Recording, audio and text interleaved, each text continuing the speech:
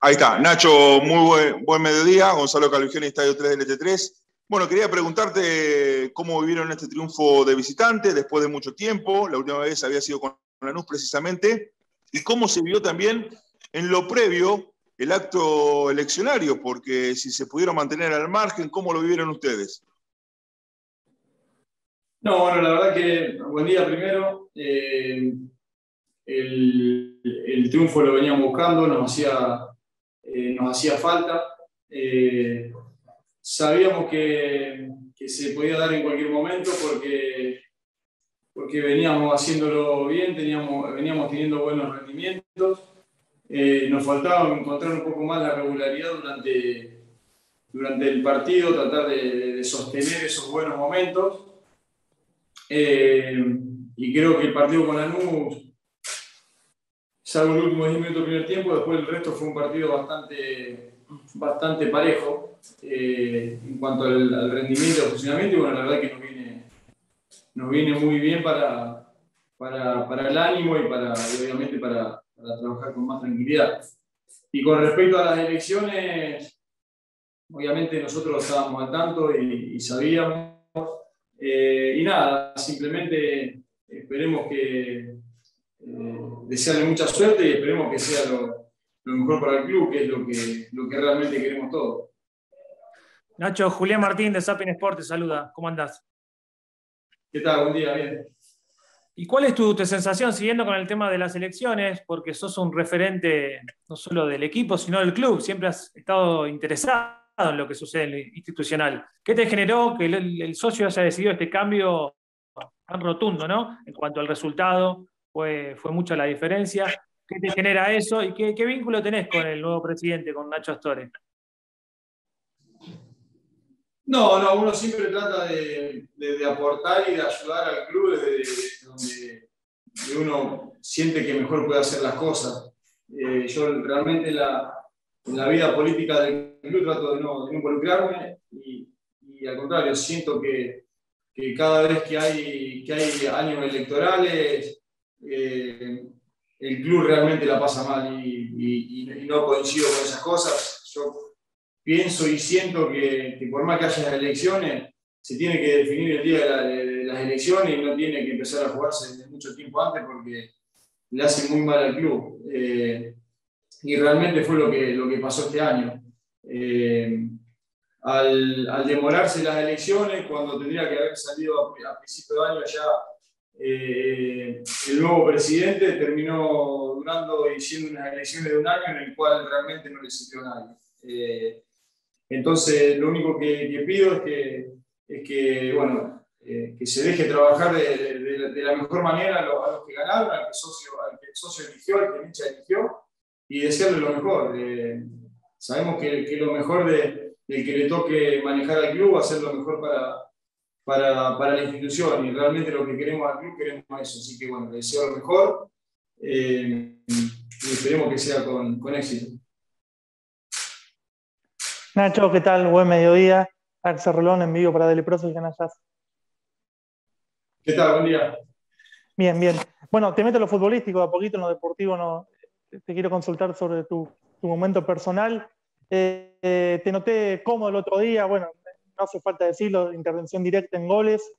Eh, siempre marcaste que, te viene bien cuando tocas con la pelota, cuando, te, eh, cuando juegas fuera del área también.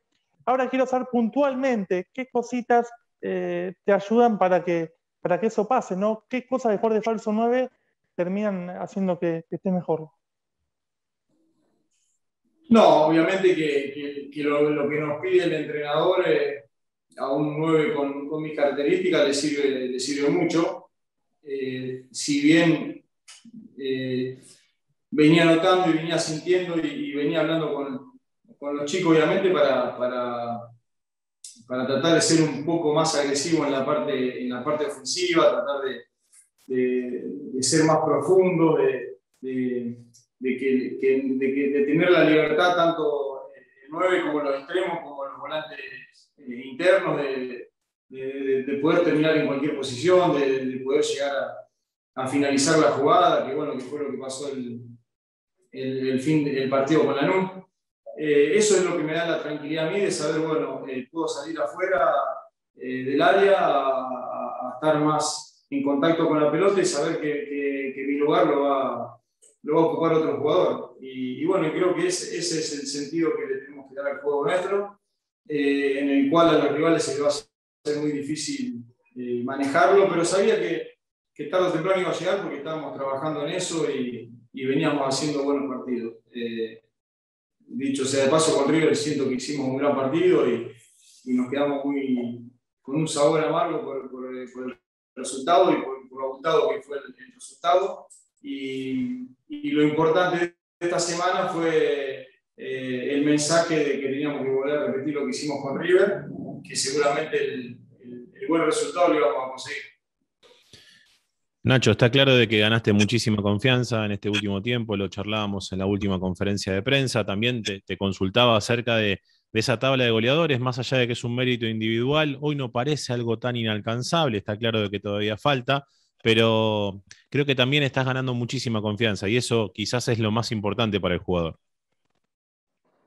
Sí, sí, eso es, eh, fundamental. La confianza es eh, importantísima. Eh, recién yo remarcaba que, lo que lo, que nos pide el entrenador es, es fundamental para, eso y para, un jugador de, de, mi característica. Yo siempre digo que hay y sostengo que hay, hay, jugadores que están hechos para, para distintos funcionamientos y para distintos eh, sistemas y para distintas formas. Y bueno, a mí esta forma me, me, hace sentir muy cómodo y, hace que tenga la, confianza que siento hoy en día. Eh, cuanto a la, a la tabla de goleadores, obviamente eh, no es algo que, me desvive, pero obviamente la, tengo presente y me gustaría acercarme lo que, lo más se pueda, pero yo siempre pongo los objetivos grupales delante del individual. Nacho, muy buen día. Te saluda Ramiro Opósito para AM1090. Eh, la primera pregunta, y siguiendo con el tema de la confianza, si estos seis partidos que, bueno, se cortó la racha con el Lanús, pero que si estos seis partidos que, que tuvieron sin ganar, se puede a ver, si se puede hablar de, falta de confianza en estos eh, seis partidos que tuvieron sin ganar. Y después una pregunta más, una opinión personal tuya sobre bueno, la realidad de Nico Castro, ¿no? No, bueno, eh,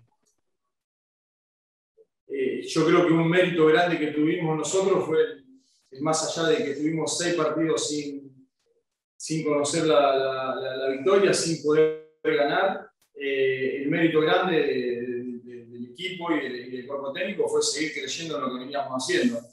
Eh, sabíamos que lo, que lo, más importante era sostener durante el tiempo, eh, durante la mayor cantidad de, minutos en un partido, sostener lo, bueno que hacíamos.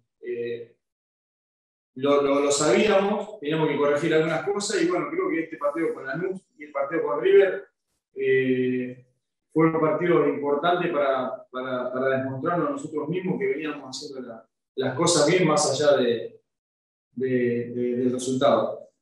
Y con respecto a Nico, bueno, eh, lo que lo conocemos a Nico desde hace un tiempo, sabíamos el, potencial, que, el potencial que tiene. Eh, vuelvo a caer en, en, que le sirvió de mucho la, la característica y la, función de, que él cumple dentro de la cancha, lo que le está pidiendo el, el, entrenador y lo que nos pide el entrenador como equipo. Entonces, bueno, eh, Nico está con mucha confianza, eh, tiene que todavía que, aprender mucho, tiene mucho para aprender, pero es un chico en el cual, que esto es lo más importante, es un chico en el cual escucha, que sabe que, que, puede mejorar partido tras partido, que eh, le pueden salir las cosas bien o las cosas mal y siempre sigue intentando y realmente eso es lo que, lo que, lo que destaco obviamente eh, el potencial todos, vemos, todos lo vemos y todos sabemos que, lo tiene.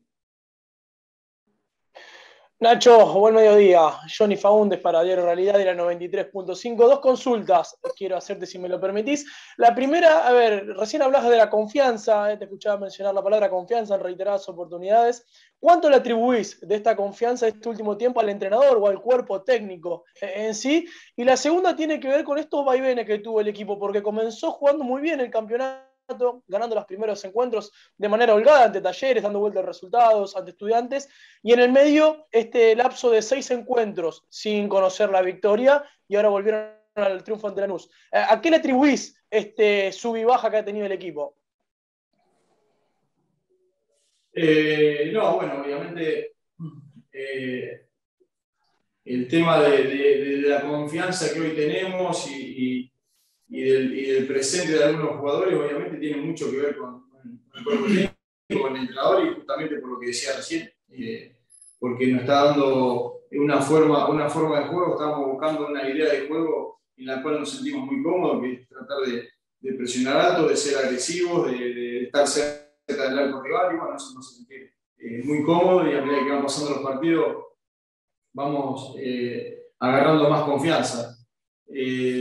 Y después, mira, la verdad que no, no, eh, no, sé si tenemos tantos, eh, tanta diferencia entre un partido y otro desde que arrancó el campeonato. Lo que sí tenemos momentos muy diferentes eh, en los partidos.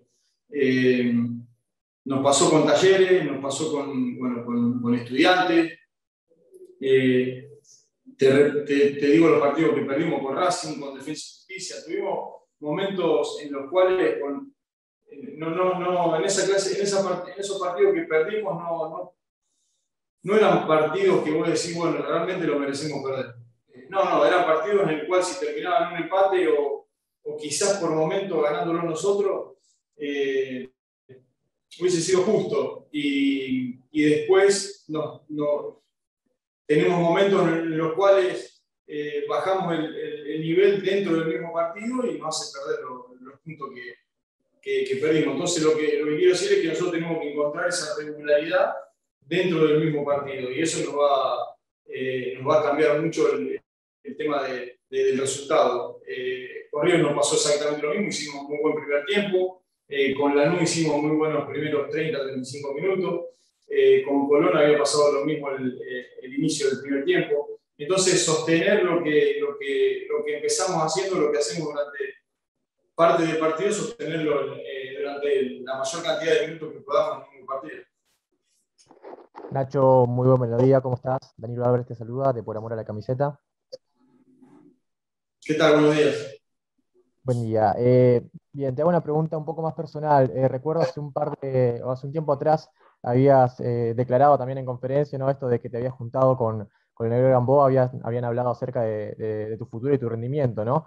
A día de hoy, eh, ¿sentís que eso que, habías hablado con Gamboa en ese entonces, sobre todo en estos dos últimos partidos frente a River y frente a, Lanús, ¿sentís que, verdaderamente estás cumpliendo, ¿no? Sobre, todo con este saldo positivo que, que venís teniendo en rendimiento futbolístico, ¿no? Que estás cumpliendo con eso que, le comentabas a Gamboa en ese entonces.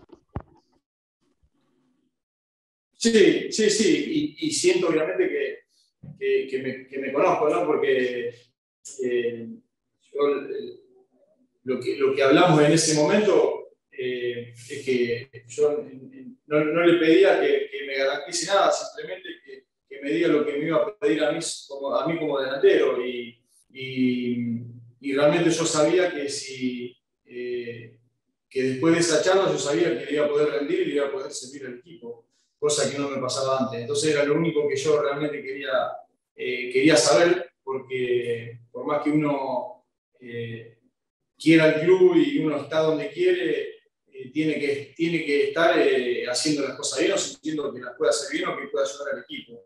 Y yo tenía, eh, tenía esa duda y quería saber simplemente cómo, qué era lo que iba a necesitar y qué iba a pedir de mí para, para saber yo se lo podía.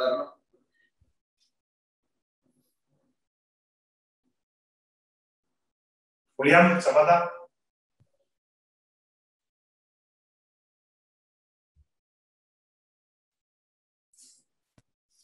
Hernán. Voy yo. Vamos. Nacho. Santiago Machado, acá de Sangre, de sangre Rojinegra. Nacho, te quería consultar eh, ¿cómo, recibieron la noticia de que ahora va a haber un aforo del 50% en la cancha y cuánto extrañan ustedes o cuánto les influye que haya público. La verdad que, es, una alegría eh, enorme para nosotros saber que, dentro de, poco tiempo nos vamos a reencontrar de vuelta con, con la gente, con, con las canchas, eh, bueno, no, no digo llenas porque hay un 50%, pero eh, reencontrarnos con, con, nuestra gente que para nosotros es, eh, es fundamental, es importantísimo para los, partidos locales, sabemos que, que, tenemos ese plus que necesitamos por ahí por momentos de, de, partido, así que va a ser un, un momento muy lindo, creo que va a ser el partido contra Vélez. Ahora sí, Julián. Hola Nacho, ¿cómo estás? Julián Zapata de Radio para Innovación de Salud. ¿Qué tal? Buen día. ¿Cómo preparan el próximo partido pensando que viene Huracán y que es un rival que ahora están pasando por su mejor momento? No, no, mira, todavía no lo, empezamos a preparar, todavía estamos en la etapa de, recuperación del último partido, seguramente a partir de, mañana ya vamos a empezar a, trabajarlo, pero, pero no hay que quedarse con, con, los resultados de, Huracán. Eh, yo lo, vengo viendo, lo vengo eh, siguiendo los últimos partidos. Es un equipo que peligroso, un equipo que crea muchas situaciones, un equipo que por, momentos juega bien. Eh, entonces no, no, hay que dejarse llevar por ahí por, por, los resultados, simplemente saber que el fútbol argentino es, es muy parejo, es muy parejo, es muy, que depende de, muchas veces de detalles y que vamos a enfrentar a, a un equipo que, es ofensivo y que siempre busca el, el, arco rival y que, bueno, en el último partido, más allá de que, eh, de que no se le dieron los resultados, eh, crea muchas situaciones de gol y es un, un, equipo eh, intenso y complicado. Nacho, Hernán Cabrera te saluda, ¿cómo estás? ¿Qué tal? Buen día. Nacho, eh, ¿cómo te sentís para el futuro? Ahora que se te ve otra vez pleno de lo futbolístico, acomodado, siendo un referente para, para Gamboa, ¿cómo te sentís para el futuro? ¿Evaluás un poco más allá de diciembre, Newells? No, no, la verdad que no, la verdad que no, que trato de, de, vivir el, momento, el día a día. Yo siempre eh, pienso y sostengo que el futuro depende mucho de, lo que se haga en el día a día y, del presente. Entonces, nosotros tenemos que enfocarnos en, lo futbolístico, en tratar de, agarrar una regularidad en cuanto al, funcionamiento dentro de la cancha y obviamente si puede ser con, los resultados, bienvenido sea, pero apuntamos a eso, apuntamos a ir partido tras partido, eh, ir consolidándonos como, como grupo, como equipo, y después, bueno, obviamente si logramos eso, lo que viene seguramente va a ser bueno.